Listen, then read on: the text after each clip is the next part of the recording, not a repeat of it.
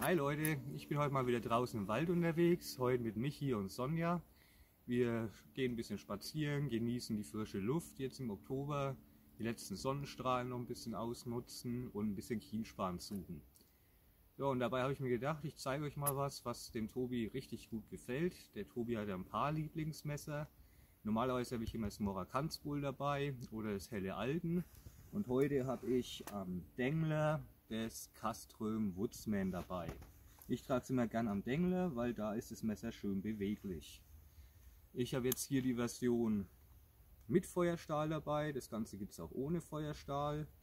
Kommt in einer schönen cognacfarbenen Lederscheide. Schön vernäht, ziemlich starkes Leder. Unten mit einer, in einem Abflussloch, damit eben keine Feuchtigkeit drin bleibt. Und jetzt kommen wir mal zum Messer. Das Messer ist vom englischen Messermacher Harrington designt. Der baut seit 1997 Messer, ist auch im Buschkraftbereich tätig und der hat eben dieses Messer hier designt. Relativ klein, aber für die meisten Arbeiten vollkommen ausreichend.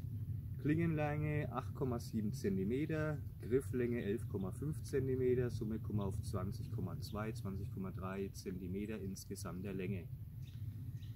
Das Ganze ist in Fulltank-Bauweise ähm, und äh, hier habe ich jetzt ähm, Mooreiche-Griffschalen. Das Ganze gibt es auch noch mit ähm, Masterbirge-Griffschalen. Ist dann abgesetzt mit schwarzen Leinern ein bisschen.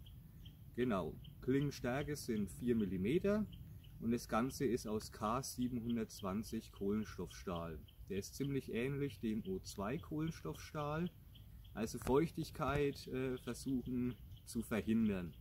Ich habe das Messer mal draußen dabei gehabt und über Nacht in der Lederscheide bei Regen und am nächsten Tag waren schon leichte Rest, äh, Rostflecken drauf. Also das Messer immer schön mit Ballistol einölen und immer sich um das Messer ein bisschen kümmern.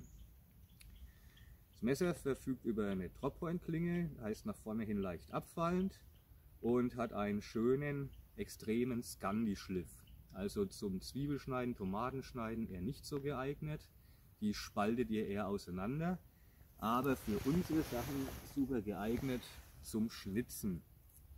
Ja, der Scandi, der beißt sich extrem ins Holz rein. Ja, da kriegt man auch was weg.